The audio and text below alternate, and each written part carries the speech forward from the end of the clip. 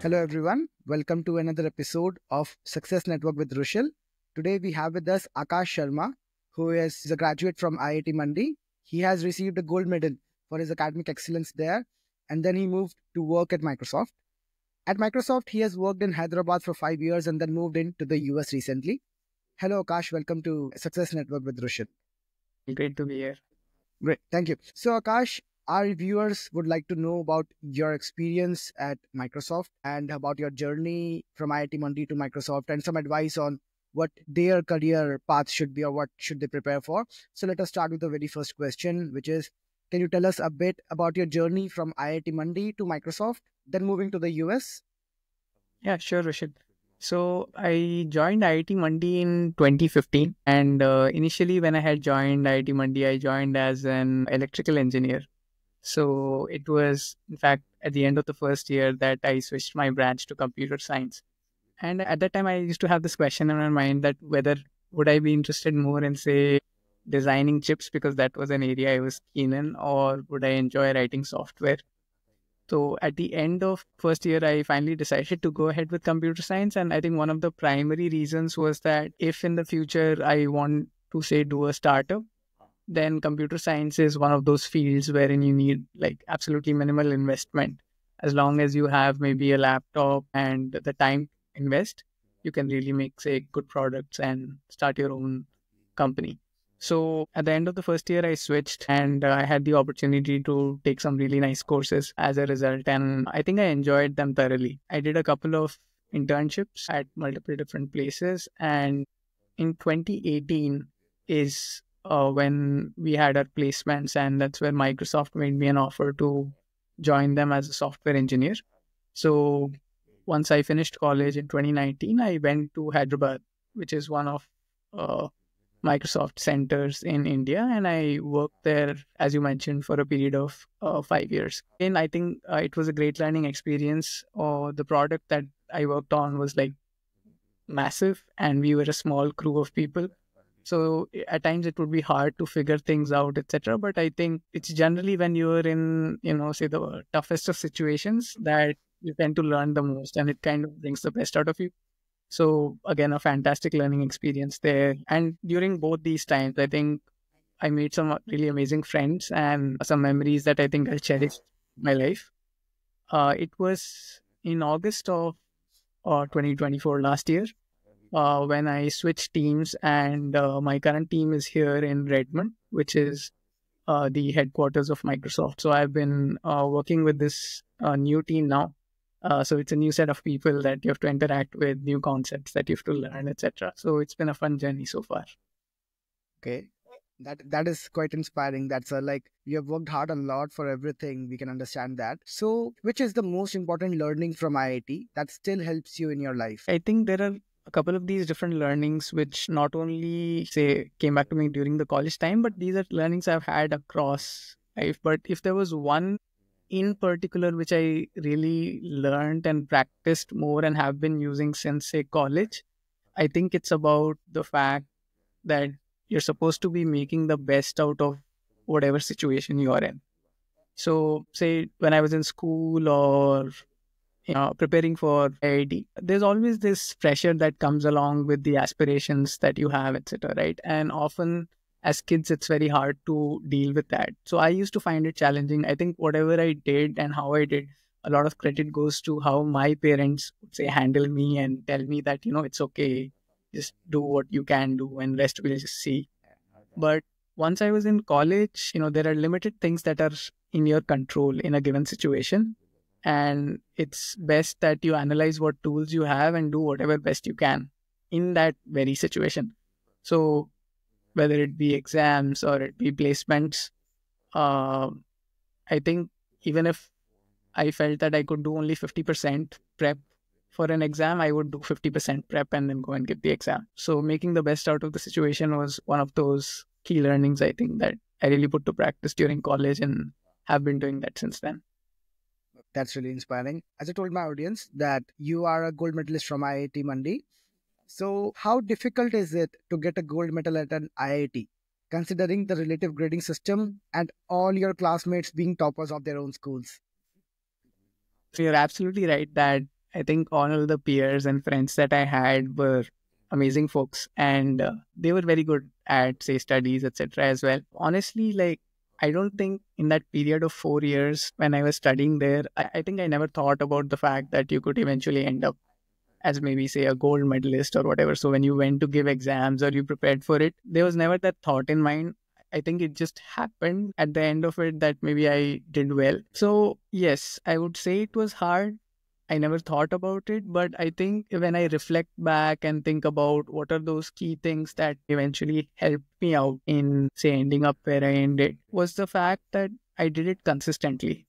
So at the end of the first year, when we got our GPAs, I think I would have maybe been in the top 10, 15 people, but I was nowhere close to being the top ranker or whatever in college. But I was happy. Like I was excited about the fact that I'm going to be switching to computer science. But I think some things that changed over a period of time was the fact that uh, towards the later years, especially, uh, I had friends who maybe some of them didn't work hard in one course or they would have left one semester and maybe they prioritized other things over academics. I think I never let go of any courses in the sense that I felt generally more responsible from the perspective that, yes, this is a course, irrespective of whether or how much I like the content or not like the content. As a student, it's my responsibility to go ahead and study as much as I can, give my exams.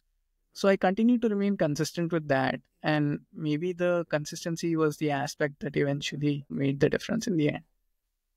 Okay, so consistency is the key. So that's the message for our audience, and yeah. uh, that's a message for me as well.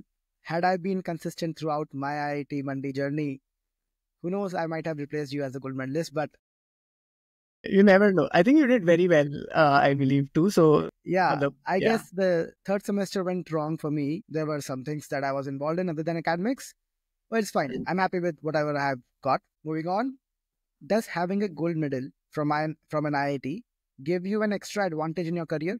So I think it might be like a little bit related to the question. Say, does an IIT tag, for example, help you in your career or not? Right? And I think for all these questions, thought generally is that yes, if there is a process of resume shortlisting happening, then if you have an IIT tag or if your resume mentions that you were a gold medalist at your college, it tends to draw some attention is at least what i think. So your resume might get shortlisted and you might be able to get interview opportunities slightly more easy easily as compared to someone who is not able to list those things on their resume but as you progress in your career, it becomes a lot more about what you have done over the past few years and what projects have you worked on, with which companies are you working on. So that tends to wane more as compared to whether or not you were a gold medalist, say five or six years back. So yeah, I think maybe your resume shortlisting is something where it could possibly help you. But eventually in the interviews, it's going to be more about how knowledgeable you are and the work that you have done over the past few years. Okay. So it kind of makes for an extra advantage, but not the major part of it. The major part is what you have done over the years. But yeah, it's there's no harm in getting a gold medal at an IIT. So yeah, I get your point. Okay. So in your opinion, what makes IITs different from other colleges? See, at least from my experience, there were a lot of things that have contributed to where I am today from the college perspective itself. And that can include, say, students, teachers, uh, and various other experiences that you have at college. I'm sure other colleges are great too, and they also have some amazing professors who help the student out. But I think one of the differences that we might find in an IIT or any other reputed institute is that because of the process of having these hard exams, right, to have students eventually qualify and come to the college, the, the peer group that is formed at IIT tends to be reasonably good. Now, you'll always find a mix of students in terms of their interest in academics, etc., in all colleges. It's just that you might find a higher ratio of people at an IIT who are more interested in investing time into learning things or building things. So I think peer group is one of the most important factors that eventually brings in a difference. And obviously, as a result, you build a very strong network because these people have worked hard to get into an IIT. A good number of them work hard in college. And then even after, say, they leave college, they tend to go and do some incredible stuff. Now that that is obviously, you know, I'm not saying that say people in other colleges might not be doing as well, but it's just the ratio maybe is what brings in the difference. I think I also felt the same. So totally agree with that. Like the peer group was awesome. Yeah. So what advice would you give to someone preparing for JEE exam right now? Okay, I think this is an advice that my parents also gave me.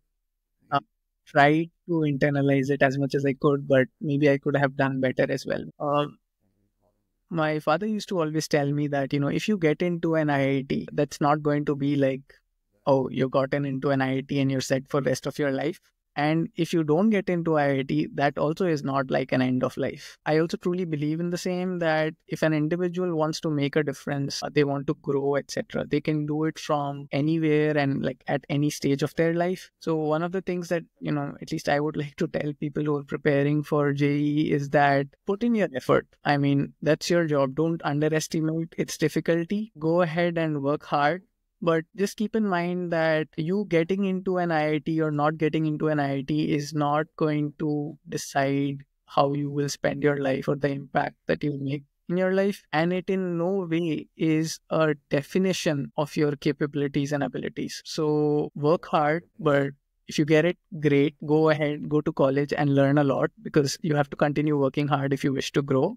And if you don't get it, it's totally fine. Pers- continue pursuing the passion for engineering. It's an amazing field. Work hard, and you'll be able to get to places where any other IITian maybe can get. So that is maybe one thing you should keep in mind when you're preparing, and don't take that added stress. I totally agree with that, Akash, because I've seen people from non IIT colleges doing much better than IITians in their life. Right. So yeah, like life doesn't end at the college name itself. You have a huge path to follow. So you can totally turn agree. around the table anytime. Yeah. Okay.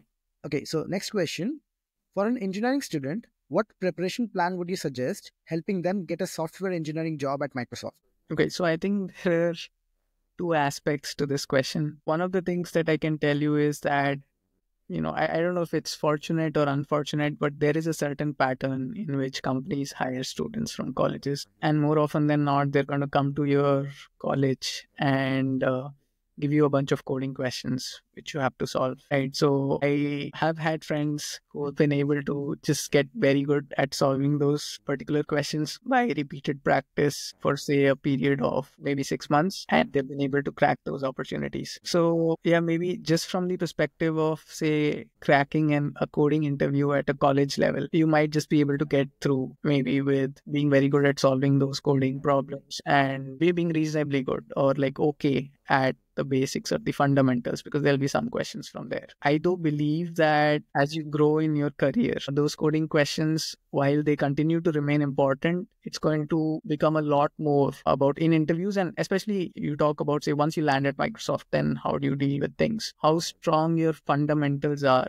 are going to play a decisive role. So while you can maybe get through interviews or say Microsoft or any other top company, maybe by being good at solving coding problems, I think your fundamentals in terms of do you really understand networking, operating systems, memory management, how good are you those concepts will play a difference, at least in the longer run. I feel that in my interview, whatever foundational skills that I had built did play a role in helping me get a job at Microsoft. It was not just the questions that I solved. So, at least my advice would be that spend your time at college trying to really build a very, very strong foundation or understanding of how things work at the lowest levels. And they will eventually help you in life and they'll also help you in your interview at microsoft like at college for whatever company you're interviewing for.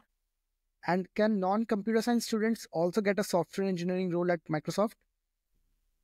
absolutely. So you know i've had friends at college who've been in say several different branches whether that be mechanical even civil for that matter right? Some of these students were not even allowed to sit in placements because of the branch that they were in at that point of time. But i've seen them really work hard. They would take their courses. They would also go ahead and then take up some computer science courses study from watching maybe lectures on youtube or whatever. And i've had friends who have gone ahead and cracked multiple offers in top software engineering companies at the end of college. So I think, you know, as I always say, it, it's always up to you as to where you want to get and what you want to do. Sometimes it takes time, sometimes it takes more effort. You have to put in more effort than others, but you certainly can get wherever you want to be. So there is no doubt about the fact that non computer science students can crack offers in top software engineering companies. Okay. So before closing, I want to ask one last question. So where can our viewers find you or learn more about your work?